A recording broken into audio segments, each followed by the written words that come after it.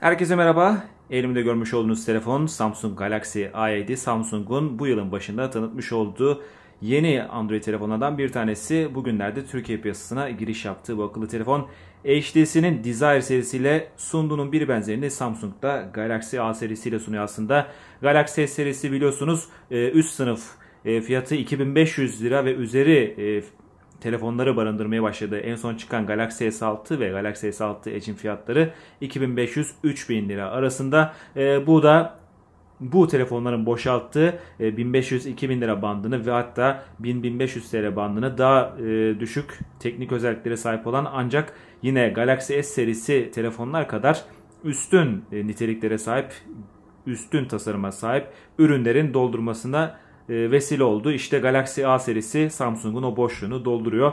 Galaxy A3 ve A5'i piyasada görmüştük. Galaxy A7'de o iki telefonun e, daha üstün özelliklere sahip olan Galaxy A serisinin amiral gemisi olan akıllı telefonu. Samsung Galaxy A7 geçen yıl çıkan Galaxy Alpha'nın devamı niteliğinde bir akıllı telefon. E, telefonun metal gövdesi mevcut tıpkı Galaxy Note 4, Galaxy Note Edge Galaxy S6 ve Galaxy S6 Edge gibi ve hatta Galaxy Alpha gibi bütün Samsung metal telefonlarının atası o telefondu doğrusunu söylemek gerekirse. Oldukça şık görünen bir akıllı telefon tasarım itibarıyla biraz Galaxy Note 4'ü de andırdığını söylememiz gerekiyor. Galaxy A7'nin. Galaxy A7'de 5.5 inç 1920x1080 piksel ekran var. Full HD ekran deneyimini bu telefonda yaşıyorsunuz. Super AMOLED ekranın görüş açıları bir hayli iyi, parlaklık da renk canlılığı da bir hayli iyi seviyede ve dış ortamda da bu ekranın iyi bir görüş sağladığını rahatlıkla söyleyebiliriz. Telefonun ekran üzerinde 5 megapiksel kamera mevcut. Altta yine e, ana ekran tuşunu görüyoruz. Bu tuşun etrafında da iki tarafında da kapasitif dokunmatik tuşlar mevcut.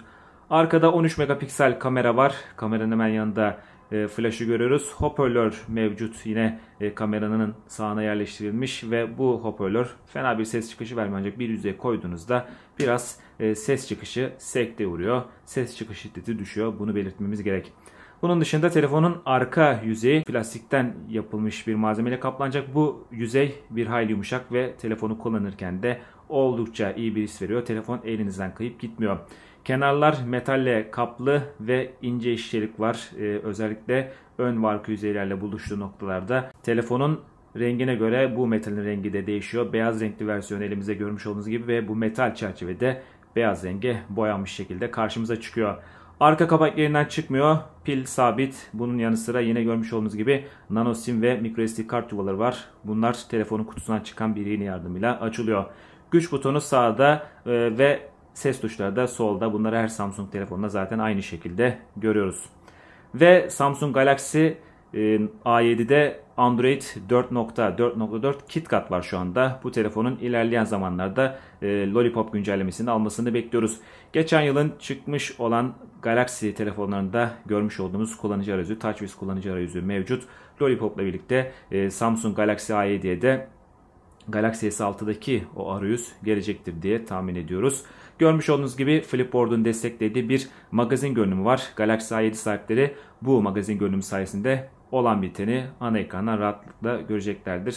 Sadece parmaklarını sağa doğru kaydırmaları yeterli oluyor. Bunun dışında yine birçok bileşen mevcut, birçok uygulama mevcut. Google uygulamaları görmüş olduğunuz gibi ana ekrandan rahatlıkla erişilebiliyor. Bunun dışında Gameloft'un bir bileşeni var. Her Samsung Galaxy telefonunda görmüş olduğunuz gibi. Uygulama menüsüne baktığımızda uygulama menüsünde çeşitli uygulamaların yüklü olarak geldiğini görüyoruz. Flipboard, Dropbox gibi uygulamalar var. Google uygulamaları mevcut. Bunun yanı sıra yine Digiturk Play, Deezer gibi son zamanlarda Samsung telefonlarında sıklıkla gördüğümüz uygulamalar var. Yine S-Film, S-Spor gibi Samsung uygulamaları da Samsung Galaxy A7'de mevcut. Bunun dışında yine Google Play'den ve bunun yanı sıra yine Samsung'un kendi uygulama mağazası olan Galaxy Apps'ten de uygulamalar indirebilirsiniz ve böylelikle Samsung Galaxy ID sahiplerinin uygulama kütüphaneleri, seçenekleri biraz daha fazla. Galaxy Apps'te de aslında Google Play'de olan içerikler çoğunlukla ancak bunlar çeşitli fırsatlarla ve Samsung'un öne çıkardığı, tavsiye ettiği içerikler olarak biraz daha dikkat çekici olabiliyor. Galaxy ID sahiplerinin Google Play Store yanı sıra Galaxy Apps'e de bakmasını öneririz. Bunun dışında arkada yer alan 13 megapiksel ve önde yer alan 5 megapiksel kameralar görmüş olduğunuz kamera uygulamasıyla kontrol ediliyor. Kamera uygulaması şu anda geçen yılın e, telefonlarında görmüş olduğunuz arayüzü sunuyor bizlere. Ve görmüş olduğunuz gibi çeşitli modlar var. Daha fazla modu da indirebilirsiniz. E, öndeki kamerayı kullanarak panorama selfie moduyla fotoğraf çekebilirsiniz. Geniş ekranlı panoramalar, geniş açılı panoramalar çekebilirsiniz. Bunun için yapmanız gereken sadece moddan e, geniş selfie seçmeniz. Böylelikle gerçekten de e, geçişlerin belli olmadığı geniş açılı panoramalar, selfie panoramalar çekebilirsiniz. Ve yine animasyonlu ilgili gece gibi özel modlar var. Hem ön hem arka kameralar bir aile tatmin edici sonuçlar veriyor bunu söyleyebiliriz. Samsung Galaxy A7 ile ilgili aktaracaklarımız şimdilik bu kadar. Telefonla ilgili daha fazla ayrıntıyı bu telefonla çekilen fotoğraf ve videoları teknoblog.com'daki inceleme yazısında bulabilirsiniz. Yeni bir videoda görüşmek üzere, hoşçakalın.